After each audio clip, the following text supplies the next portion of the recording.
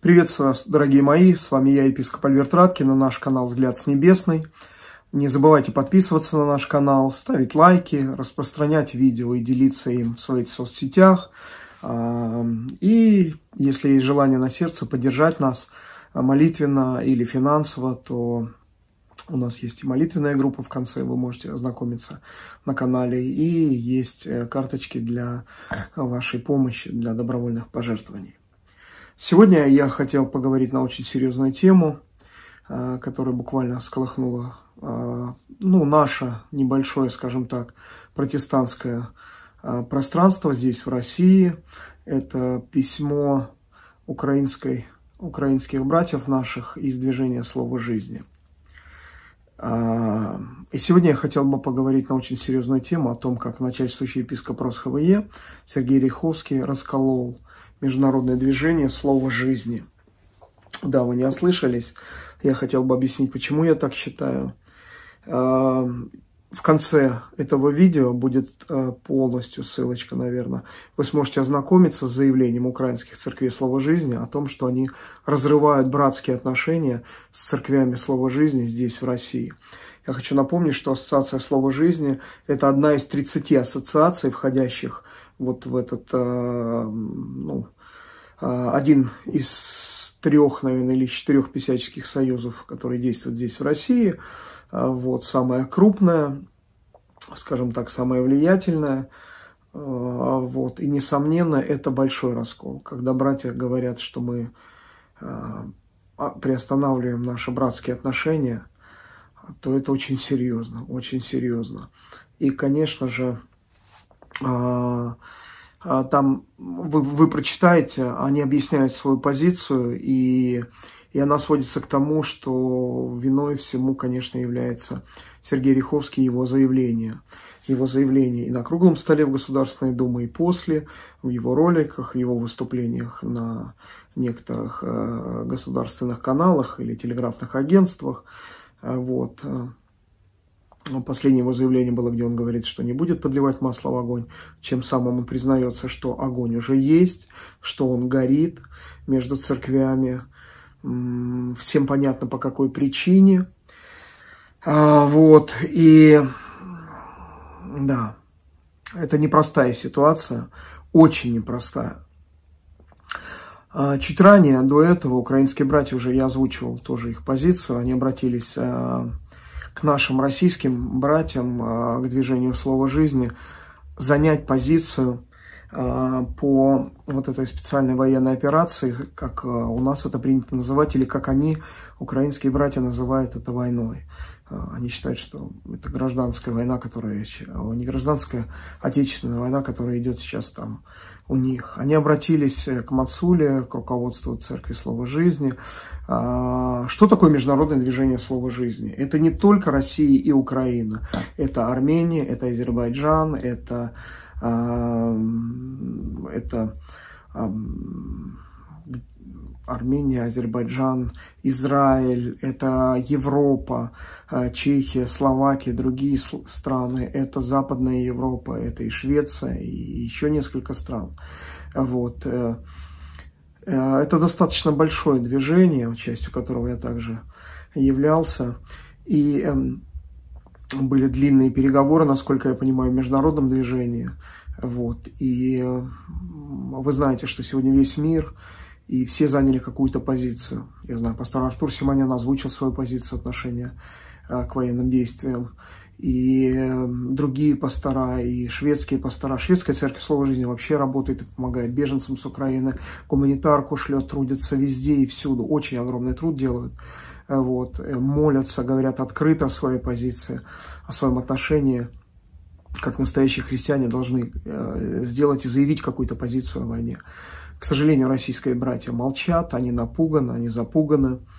А вот. Э, и когда братья украинцы обращались, пастыря, епископат, к российским братьям, в том числе к Мацуле, который возглавляет эту ассоциацию, они не учли некоторых вещей я сегодня хотел бы их э, сказать, они не учли того, что у Мацулы э, Исхаэля, э, главы ассоциации, у него очень большие проблемы здесь, в России. Первая проблема, я все, наверное, не назову, но первая, это с гражданством. Все знают, что Мацула, пастор Мацула является гражданином Норвегии, а Норвегия это страна НАТО. Мы знаем сегодняшние отношения у нас в стране, как не раз уже заявлял этот начальствующий у них, там, что только Мацула скажет что-то, в 24 часа его здесь не будет. И мы знаем, что угрозы, они, они настоящие, потому что главный советник этого начальствующего епископа является сотрудник а, органов безопасности. Вот. И это серьезная угроза не только у него, но еще у некоторых братьев, которые входят в этот союз. А, вторая проблема связана созданием церкви.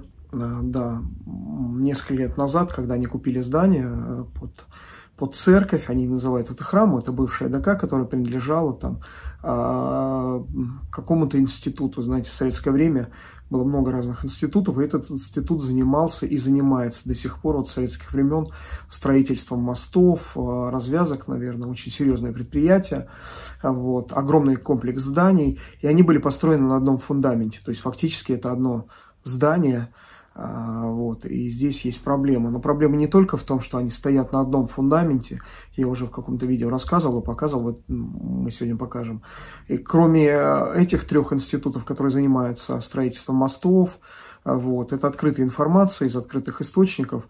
Мосты это всегда были э, военными объектами, они охраняются военными, вот, поэтому, скорее всего, эти структуры каким-то образом связаны с Министерством обороны.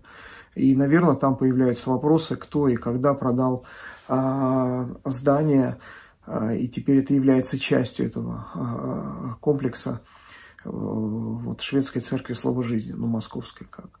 Вот. Кроме всего, там находится еще один очень интересный институт, центральный, ЦАГИ называется, Центральный а, аэрогидродинамический институт. Э, вы можете посмотреть в Википедии, что это за институт, что это за предприятие.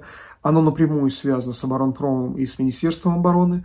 Оно работает над, э, у них контракты вот с вертолетами, с, с самолетами и, конечно же, э, с торпедами, потому что гидро, гидро это вода, гидро, вот этот аэрогидродинамический институт. Это серьезное предприятие, очень серьезная и тоже в любой момент, вы знаете, что мы живем в стране, где в любой момент любые итоги а, продажи, собственности могут пересмотреть. И поэтому это вот другой крючок, за который держит того же пастора Мацула, и он, ну это как оправдание такое идет, что вот мы, мы должны быть очень аккуратными и а, мы не можем иметь свои собственные позиции ни по какому вопросу, потому что мы якобы защищаем здание там или еще что-то. Третий Третий, наверное, крючок – это финансы. Никто даже не скрывает, что в РосХВЕ слово «жизни» – это самая успешная и богатая структура в РосХВЕ. Я обещал вам, что когда-то расскажу, как устроена финансовая пирамида а, в ассоциации а, слова «жизни», как собираются деньги. Вот, э, в ближайших видео я все-таки покажу вам таблицу, запишу все, расскажу, как идет это все. Вот, и, здесь тоже очень сильнейшее давление а, оказывается, потому что, конечно, РосХВЕ боится потерять эту ассоциацию. Я знаю из источников, которые пожелали остаться неизвестными, скажем так, они говорили, что это тоже одна из причин, потому что слово жизни вносит на содержание, на содержание аппарата аппарат он сейчас называется РосХВЕ, там аппаратчики сидят, вот, э, представители спецслужб и наши христиане, там, там клановый бизнес уже из нескольких семей состоит там. Вот, и если слово жизни выйдет, уйдет, а рассматривался этот вопрос, от братьев просили, чтобы они вышли из, Рос, из состава РосХВЕ, из Духовного Совета, из всех руководящих органов. А, вот. Э, но финансы – это очень важная составляющая. Это, это, это действительно очень серьезные деньги, которые платит ассоциация на то, что содержать аппарат Риховского, а там внутри РосХВЕ. А есть еще одна причина, как мне кажется, тоже важная. Вот. А, знаете русскую пословицу «держи друга близко, а врага еще ближе к себе. Вот, и Мацула был назначен уже долгое время первым заместителем А, да, у него должность первый заместитель начальствующего епископа. Это очень серьезная а, должность такая. Вот его, как врага, как натовца, как не гражданина России, его держат очень близко, на поводке. И это тоже то, на что ссылается, я так понимаю, а, движение слова жизни, потому что они не хотят заявлять никакой своей позиции. Вот. Письмо было адресовано их, но недавно Риховский ответил, хотя его как бы это боком так касалось каким-то, он ответил за них. Даже Мацула не имеет права голоса. Сам не смог ответить, не смог объясниться перед братьями публично. За него это сделал вот, а, Сергей Риховский. Объяснил, а, что мы вне политики, в отличие вне политики. Слушайтесь только, Риховский вне политики, слово жизни вне политики. А, вот. Эм, и, конечно же, Ореховский манипулирует Мацулой и другими членами слова жизни. И, кстати, большинство входит в Духовный Совет. Там пять или шесть человек. Они вот, вот так забронировали все места. Э, и там команда. Ну, мы с вами их называем МММ, маленький московский между собойчик. Туда очень тяжело кому-то со стороны войти вот, в эту структуру, в пирамидальную, в такую старосистемную, эсэсовскую структуру. А, вот. И, конечно же, вот эти мелкие манипуляции со стороны Риховского именно в своих интересах.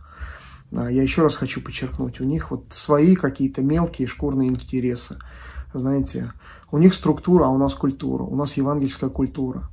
У нас есть ценности, на которых мы стоим с вами, а, вот, и которых придерживаемся. И я знаю очень много достойных пасторов и в структуре сегодня РосХВ, они понимают, а, к чему это идет. Некоторые прямо говорят, ну мы хотим, чтобы Бог сам судил. И э, Бог все, они видят сегодня и говорят, что все разваливается, потому что Бог вмешался уже и судит. Все эти скандалы, которые постоянно сопровождают этот союз, он не самый большой, несмотря на то, что они сами о себе там рассказывают. Все их аппараты, это что, тысячи, тысячи. Хорошо. Раскол начался а, немного ранее из-за несправедливой расправы надо мною. А, это вот уже в течение года все это длилось. И опять же, благодаря вот этому мелочному интересу, Риховскому удалось расколоть дорогую моему сердцу Международную ассоциацию церквей Слова Жизни. Много достойных братьев, пастырей, епископов, огромный труд, огромная миссионерская работа. Это страны Юго-Восточной Азии, Вьетнам, другие страны, библейские школы, покупка домов, а, под церкви, храмов. Это, это не только территория бывшего Советского Союза, но это и другие страны. Огромная миссионерская работа ведется везде. Монголия, Китай, другие страны и Юго-Восточной Азии, и, и нашего ближнего зарубежья, Таджикистан, Узбекистан, другие страны, Казахстан. А, вот. Э, началось э, даже не с выступления, вот этот раскол э, в, в помните это нашумевшее выступление в Государственной Думе на круглом столе, где Сергей Риховский он там сделал свои заявления, как они любовью будут уничтожать всякое зло. Там много было разных выступлений, ужасных выступлений по своему. Вот, как выразился сам э, начальствующий епископ, это его друзья и братья по по религиозному цеху. Вот, цеховики там заседали, от них требовалась поддержка специальной военной операции в Украине, оправдание ее, на что они, каждый посчитал нужным заявить, как они поддерживают, как они э, любят и благословляют эту операцию. Вот. Но все началось э, немного раньше, когда, испугавших конкуренции на выборах э, нового начальствующего епископа РосХВЕ Сергей Риховский потребовал, чтобы слово жизни и Мацула, они выдавили меня из, из, из этой ассоциации. Я написал заявление под давлением, мы сидели, разговаривали, два дня у нас были встречи, были разговоры, и, где я просил братья объяснить, за что, за что. Просто уйди, просто мы не хотим проблем, уже слишком много проблем. Вот на нас давит РосХВЕ, на нас давит Риховский, они не скрывали этого, вот, угрожали расколом у нас в церкви в Калуге. А знаете, вот действительно видишь, когда не ценности у людей, евангельские, христианские ценности, а вот, вот действительно интересы свои шкурные, финансовые, как бы жить, там, не тужить, и много-много других проблем, о которых я уже говорил. Вот. Как выяснилось, э, позднее меня выдавили э, или выжили а, только за то, что я жил, действовал, говорил в соответствии, во-первых, с основами вероучения Союза РосХВЕ, первое. Да, я, вы можете ознакомиться на сайте РосХВЕ, основы вероучения, там и отношения к политике, к разным, и к социальной жизни, и ко всему, ко всему, ко всему. В заявлении слова «жизнь» тогда было социально-политические взгляды. Они полностью соответствовали.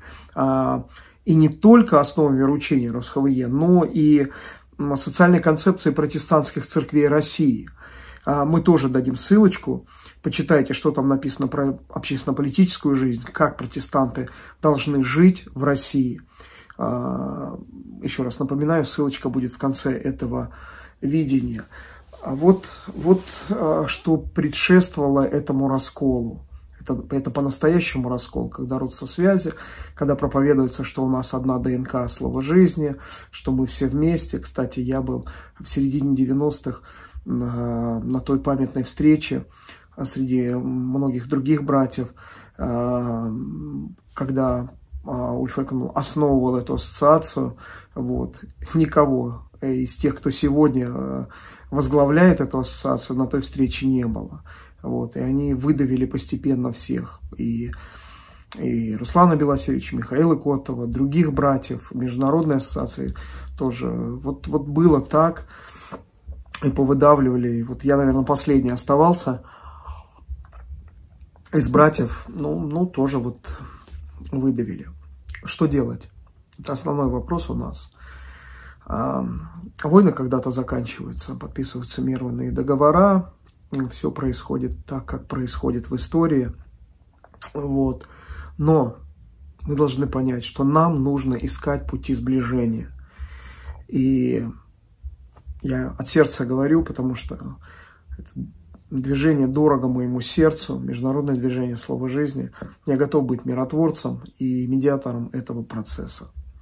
Я готов соединять братьев, трудиться вместе с другими братьями, а, вот. Если понадобится там, со шведами или с армянской церкви или с других каких-то сторон, из, из тех, кто входит вот, в международное движение слова жизни. Вот. Э, потому что это больно.